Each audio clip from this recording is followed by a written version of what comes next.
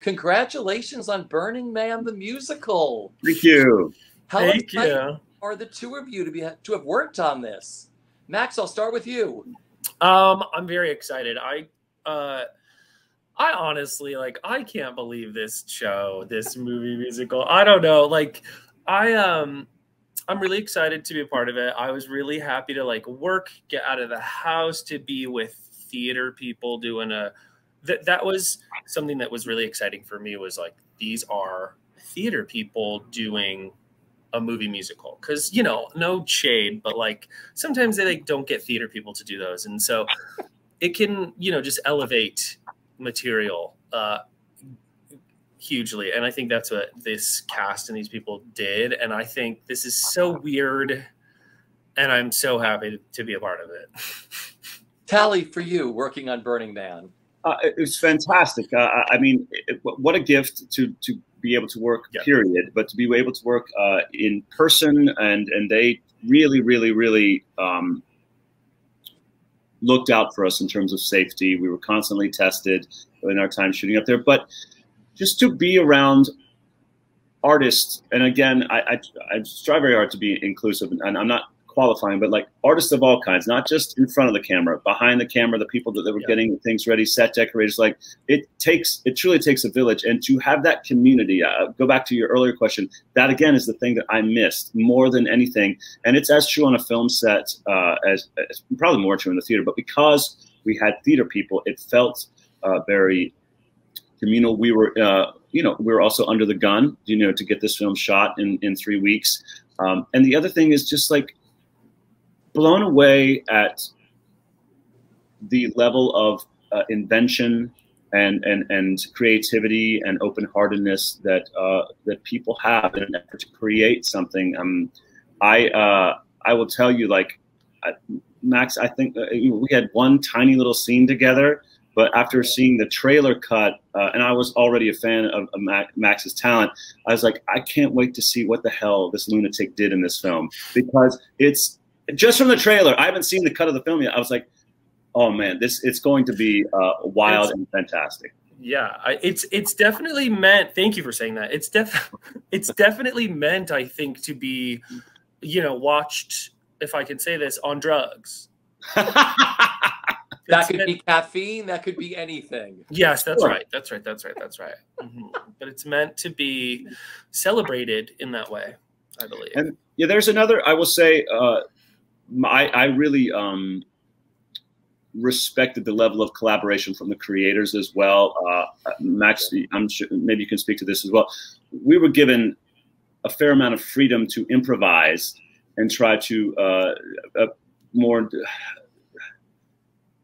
deeply uh, root the, the, the scenes. I think. Um, yeah well uh, it's which definitely uh, it's like I said, like getting theater people is so we- we're able to just sort of make, I believe, things truthful in a in a weird setting, which is want my hand sick, but like this is just the hijinks in this film and the weird scenarios are all done. I mean, from what I experienced filming it, very truthfully and very honestly, and so I'm just I can't even I haven't seen it either, so I don't I don't know what it's going to be, but I know that it's going to be a crazy musical. Richard, that's what I know. Okay, I, I said the same thing from the trailer. Max, who do you play?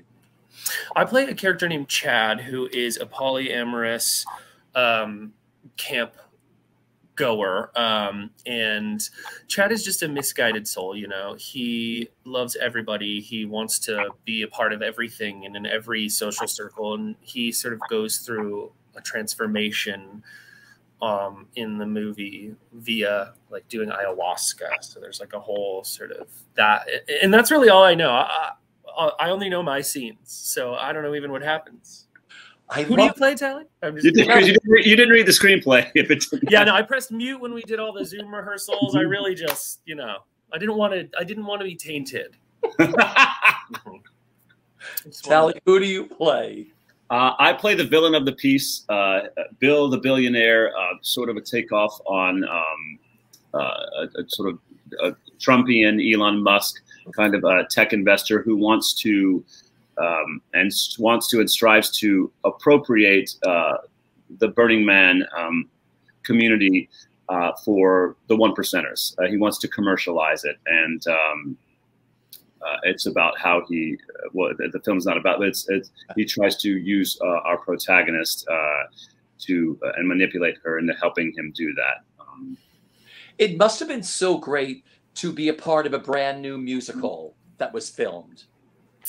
Yeah, I, it was. I mean, it really was. It was really weird because you know we recorded the whole album inside of hotel rooms because we were all holed up in a hotel doing you know COVID tests every other day and stuff. And so we would go. You would learn a song in a day and then record it in the hotel room, and then they would have the playback for you when you were filming. And now they're sort of remastering and doing all that stuff. So that was all just very quick.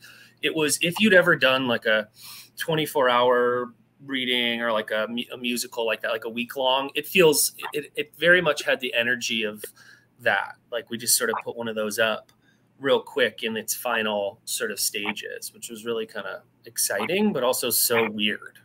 You know, real quick. Like that's it. That's it. Now people can watch that forever. Yeah. And there's a lot of trust involved because uh, even though they did involve theater people, uh, the film is an editor's medium. So we, uh, I'm sure that Max did, but I know that I just kind of threw stuff at the wall, as many takes right. as possible, and they're going to choose what they can choose. And so there's you have to trust that that's going to um,